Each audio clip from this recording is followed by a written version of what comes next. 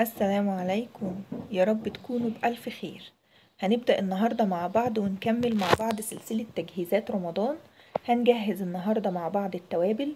هقول على التوابل الأساسية اللازمة معاكي في كل بيت وفي كل أكلة. وكمان التوابل اللي أنا بجهزها في البيت بنفسي من أول تحميصها وطحنها. وكمان هعرفكم الطريقة الصحيحة لطحن التوابل تطلع معاكي ناعمة جدا زي اللي بنشتريها من بره. وهنجهز كده كل التوابل بتاعتنا من بدري زي ما إحنا عارفين رمضان قرب كل سنة وأنتم طيبين. فطبعا بيكون رمضان كله عزومات وأكلات مختلفة ومتنوعة. فعلشان تحصلي على أكلة ممتازة بنكهة حلوة لازم تكون التوابل بتاعتك كمان ممتازة جدا. هنقول مع بعض التوابل الجاهزة وكمان التوابل الأساسية في كل وجبة وبطحنها أنا بنفسي في البيت طريقة طحنها الصحيحة لو أول مرة تشوفي قناتي ما تنسيش الاشتراك في القناة واللايك للفيديو. وكمان حابة أنوه عن حاجة إن شاء الله وانت بتجيبي تجهيزات رمضان ياريت ما تجيبيش التوابل بكميات كبيرة قوي وتعملي أزمة في الميزانية. التوابل بتاعتك علشان تكون حلوة لما بتقعد وقت كبير في البيت أو في التلاجة فبتفقد نكهتها لأن طبعا دي كلها حاجات عطرية فبتفقد النكهة بتاعتها وما بتكونش حلوة قوي زي ما بتكون جاية fresh وطازة فيا ريت ما تجيبيش كميات كبيرة قوي وتعملي أزمة في الميزانية وكمان صدقيني مش هتكون حلوة لما بتقعد فترة كبيرة في البيت تمام؟ هبدأ معاكم على بركة الله. دلوقتي هبدأ أوريكم كده الفرق بين الكركم والكاري. الكركم لونه فاتح قوي كده وده الكاري. لو بتتلخبطي في التوابل بتاعتك حطي على علب التوابل sticker تمام؟ الكركم والكاري مهمين جدا ومفيدين جدا بينفعوا في تتبيلات الفراخ واللحمة والرز المبهر وحاجات كتير. كمان معايا القرفة البودر والقرفة العيدان ومهمين جدا في التتبيلات كلها. دلوقتي معايا البابريكا اللي هي الفلفل الحلو ومعايا الفلفل الحار اللي هو الشطة.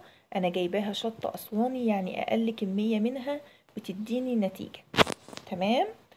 وكمان بنجيب السبع بهارات ما بنستغناش عنها.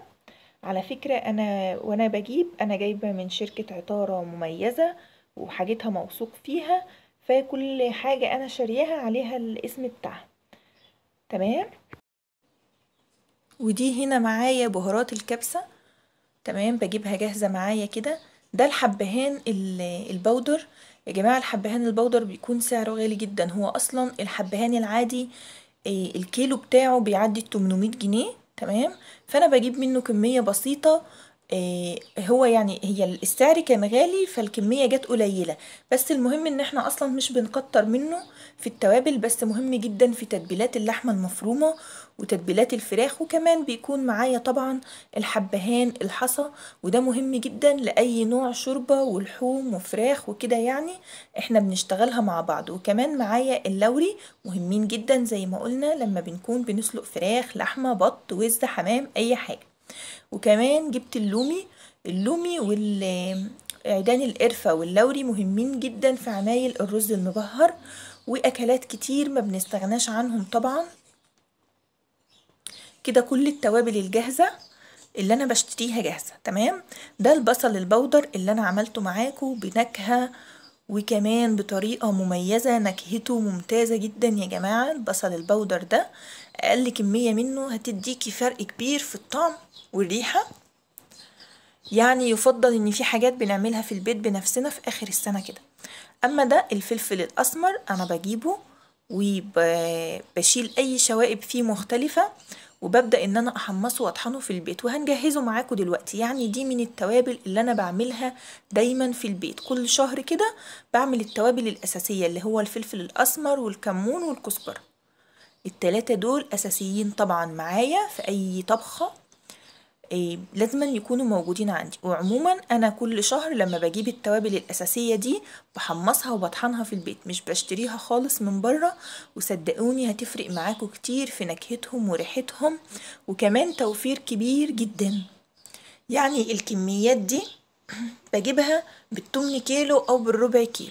ما بتكونش غالية خالص بيبقى في حاجات في حدود من عشرة لعشرين وفي حاجات في بحدود من خمسة لعشرة الكزبرة ال- الناشفة دي بتكون رخيصة جدا وبتديكي كمية كبيرة. هي والكمون. الفلفل الأسمر بيكون غالي شوية. يعني الحاجات دي وهي البصل البودر والثوم البودر هعمله معاكم إن شاء الله في فيديو قريب. كل التوابل دي أنا بجهزها في البيت بنفسي. أما التوابل التانية دي طبعا بشتريها جاهزة. والفلفل الشطة دي استحالة طبعا أجهزها في البيت لأنها بتكون حامية جدا ما أقدرش صراحة أعملها في البيت. يعني وريتكم دلوقتي التوابل الجاهزة اللي بجيبها جاهزة والتوابل اللي أنا بعملها في البيت. طبعا بعمل القايمة بتاعتي كده بكل حاجة أنا بحتاجها. دلوقتي أنا ما جبتش حاجة جاهزة خالص إلا توابل الكبسة تمام؟ وممكن إن انت تستغني عنها ما تجيبيهاش جاهزة وتعمليها من المكونات اللي معانا دي كلها. من القرفة والبابريكا والكركم والكاري والحبهان تمام؟ وكل التوابل بتاعتي دي. تمام كده؟ أي تتبيلة سمك بتبلها من التوابل اللي معايا. أي تتبيلة فراخ من التوابل الجاهزة معايا أي تتبيلة لحوم كفتة آه، أي حاجة أي تتبيلة لتجهيزات رمضان والأكلات بتاعتي بتبلها من كل الأنواع اللي أنا عرضتها معاكم دلوقتي. تمام؟ وبتكون حلوة قوي دلوقتي بجيب معايا طاسة على النار علشان نبدأ نحمص مع بعض التوابل بتاعتنا طريقة التحميص الصحيحة والطحن. هتديكي نتيجة ناعمة جدا. هتشوفي معايا دلوقتي النتيجة. هتنبهري بيها بجد. شوفي بقى هتكون كمية كبيرة يعني أوفر من اللي بره وحاجة انت عاملاها في البيت بنظافة وأمان. صدقوني التوفير في الموضوع هنا دلوقتي إن انت تحمصي الفلفل الأسمر والكمون والكزبرة فرق كبير جدا. انت هتلاحظيه بنفسك. لما تكوني جايبة الكمية بتاعتي دي بعشرة جنيه مثلا الفلفل الأسمر ده وتعمليه في البيت وتقارنيه. لو جبتي بعشرة جنيه مطحون من عند العطار صدقيني الفرق كبير جدا. قولي الضعف وأكتر. طريقة التحميص إن الطاسة بتاعتي بتكون دافية ومفيهاش ولا نقطة مية تماما ناشفة تماما ولازم النار بتاعتي تكون هادية. هو هياخد وقت معاكي شوية في التحميص والفلفل الأسمر بس خصوصا اللي بيغيب شوية إنما الكزبرة والكمون بتحمصوا بسرعة ما بياخدوش وقت. بس انت بتحصلي على حاجة نظيفة وكمان نكهة مميزة. دلوقتي أنا ببدأ أحمص الفلفل الأسمر لازما مع استمرارية التقليب يا جماعة علشان تكون كل حباية فلفل أسمر متوزع عليها الحرارة من كل جهة تمام؟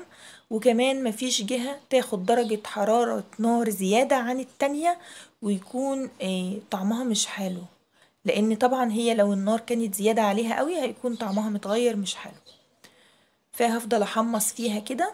قلتلك زي ما قلتلك الفلفل الأسمر خصوصا هو اللي هياخد وقت شوية فبنبدأ بيه. علشان كمان لما بسيبه يبرد آه، بياخد وقت كمان وهو بيبرد. فهبدأ بيه هو أول حاجة. طول ما انت إيدك مستحملة الحرارة على حبات الفلفل الأسمر كده يبقى لسه شوية على التحميص بتاعه. ما تحمصش تماما تمام؟ واخدة بالك كده؟ على نار هادية وببدأ إن أنا أقلب فيه أو أشوح فيه بالطريقة دي. واخدين بالكم النار معايا عاملة إزاي.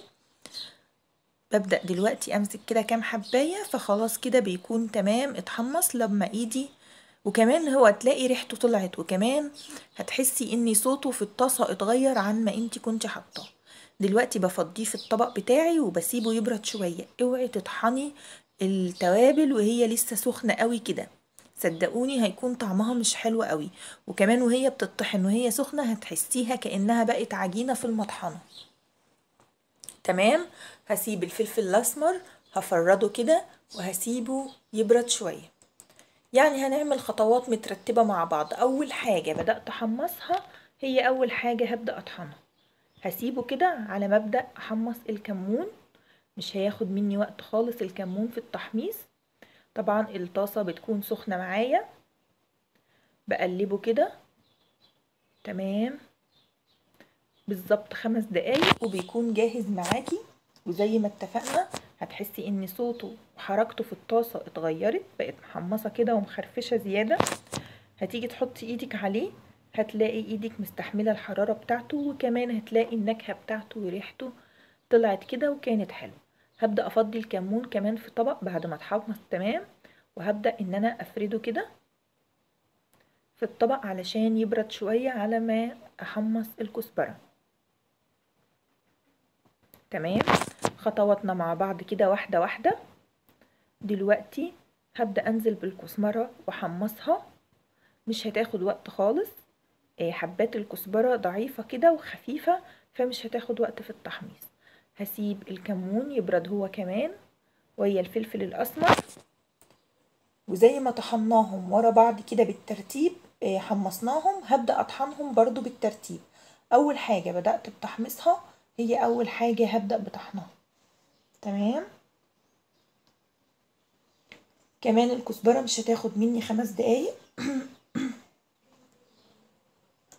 خمس دقايق بالظبط وهتكون نكهتها طلعت. والزيوت بتاعتها كده صراحة المطبخ بتكون ريحته حلوة قوي وأنا بجهز التوابل دي. بمسك كده الكزبرة بتاعتي بحس إن هي خلاص اتحمصت في إيدي كده درجة حرارتها مش عالية قوي إن هي تلسعني ولا حاجة وكمان في نفس الوقت مش باردة جدا. دلوقتي خلصت التوابل بتاعتي تحميص أول حاجة حمصتها هي أول حاجة هبدأ أطحنها. في مطحنة البيتي العادية جدا بتاعة الخلاط. هبدأ دلوقتي أطحن الفلفل الأسمر بتاعي وهتشوفوا معايا النتيجة دلوقتي بجد هتنبهروا بيها. بس أهم حاجة بحط كده ذرة بسيطة جدا يعني في حدود الربع معلقة من الملح على التوابل بتاعتي اللي هحمصها. تمام؟ هشغل عليها المطحنة. لمدة 3 دقايق. بس طبعا منفصلين عن بعض يعني أشغل وأفصل وأشغل وأفصل وهكذا لحد ما تديني النتيجة دي. يا ريت تكون النتيجة واخدين بالكم منها. الفلفل الأسمر لونه تحفة تمام؟ معلهوش أي إضافات يا جماعة جميل جدا. لما باجي أشتريه من عند العطار من بره بيكون لونه فاتح شوية ليه؟ مش عارفة. كمان أنا كان عندي قبل كده مطحون من عند العطار. وحاولت أقارن بين النص معلقة من اللي أنا عاملاه ده بمعلقة كبيرة من اللي أنا شارياه الفرق في الطعم رهيب يعني النص معلقة من ده أحسن بكتير من اللي أنا اشتريته وحطيت منه كمية كبيرة. الطعم بتاعي اللي أنا مجهزاه في البيت ده أقوى وأفضل بكتير. كده أنا خلصت طحن الفلفل الأسمر كمان طحنت الكمون بنفس الطريقة بحط كمية في المطحنة وعليها ربع معلقة صغيرة من الملح وببدأ أطحن. تمام؟ هبدأ دلوقتي كمان أطحن الكزبرة. شايفين لونها؟ ودرجة النعومة بتاعتها ناعمة جدا. إزاي؟ وهي هي والكمون. ومش هتاخد منك وقت خالص. يعني التلات توابل دول خدوا مني ربع ساعة تحميص وطحن بس. شايفين؟ اللون النكهة والريحة تحفة جدا. كمان حابة أقول زي ما ما طحناش الحاجة وهي سخنة قوي علشان ريحتها ما تتغيرش وكمان ما تكونش معجنة في المطحنة. مش لازما كمان نعبيها في البطرمانات بتاعتها وهي سخنة قوي يعني بستنى عليهم لما يبردوا شوية وبعدين بحتفظ فيهم. بتكون البطرمانات بتاعتي ناشفة ما فيهاش أي نقطة مية وكمان ما تكونش مكان توابل تانية. يعني برطمان الفلفل الأسمر ياريت يفضل هو برطمان الفلفل الأسمر. وكل نوع من التوابل يفضل نفس البرطمان بتاعه علشان النكهات ما تختلطش ببعضها. تمام كده؟ دلوقتي بقى ببدأ أجيب التوابل بتاعتي وأعبيها في البطرمانات بتاعتها. كل نوع توابل كده بحطه في البطرمان بتاعته. وزي ما قلتلك إذا بتتلخبطي في الألوان أو النكهات ممكن تجيبي استيكر وتلزقيه على كل برطمان اسم نوع التوابل بتاعته. أو بتجيبي أي ورقة كده وتثبتيها بتكتبي عليها بإيدك انتي وتثبتيها ببلاستر مثلا. التوابل اللي بكميات كبيرة بحطها في برطمانات كبيرة شوية والتوابل اللي بكميات بسيطة بحطها في برطمانات صغيرة شوية. تمام؟ بيكون جاهز معايا جميع أنواع التوابل كده في دخول الشهر الكريم علشان كمان من جهة بنوفر في الميزانية وياريت ما تجيبيش بكميات كبيرة زي ما قلنا علشان التوابل بتاعتك تكون فريش وحلوة تمام؟ ما تغيرش نكهتها لأن زي ما قلنا دي كلها حاجات عطرية علشان النكهة بتاعتها ما تتغيرش وما تكونش وتكون حلوة معايا وجاهزة على طول fresh كده وجميلة تديكي إضافات حلوة في طعم الأكل بتاعك تمام؟ كل التوابل دي مهمة جدا لأي طبخة. اشوفكم الفيديو الجاي على خير. bye bye.